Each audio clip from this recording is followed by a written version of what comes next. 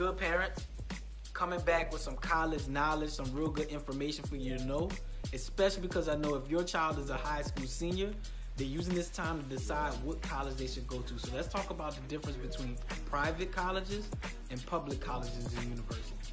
So private colleges are going to have a smaller student body. The admission standards are going to be a lot tighter, a lot more selective. They're not going to have as much to do on campus in terms of activities and, and events for students, but they are going to have a lot more specialized programs. And if you're going to a private college, you're probably going because of the prestige of the college or university.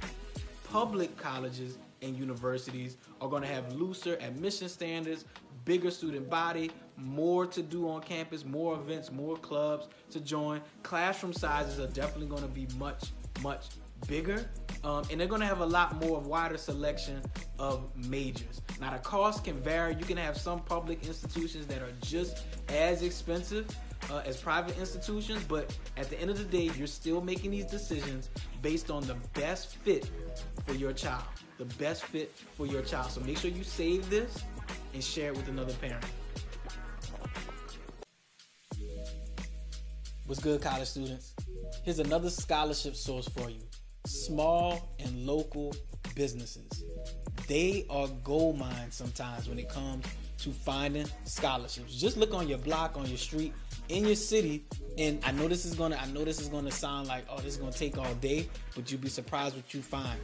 Don't hesitate to go and walk from business to business or drive from business to business and see if you can speak with the owner, speak with the manager, and ask them if they have a scholarship for college students. Some of these small and local business owners, they grew up in your community. They want to give back. And you know what I'm about to say if you've been watching the videos. If they don't offer one, talk to them about how they might be able to start one. So don't sleep on small and local businesses. One way to find it, if there are events, big events that happen in your city, the sponsors of those events usually have money. So college students, go ahead, save this reel, add it to your college success toolbox, and go ahead and share it with another college student. What's good, students, college students? Here's a tip for y'all stay in your lane. Sometimes a lot of the negativity, a lot of the things you experiencing in your life are caused because you are minding other people's business. Mind the business that pays you. Stay out of other people's business. Focus on you. The way I think is I have my goals are too ambitious to be worried about what other people are doing, what other people are saying, even if it's about me. That does nothing and impacts me in no way.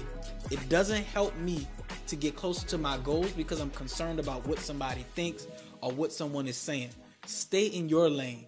Carve out your own lane. Carve out your own path. And be so focused on hitting your own goals, developing and growing yourself that you don't have time for anybody else. In the comments, I want you to put what's that one thing you're to go ahead and focus on in 2023.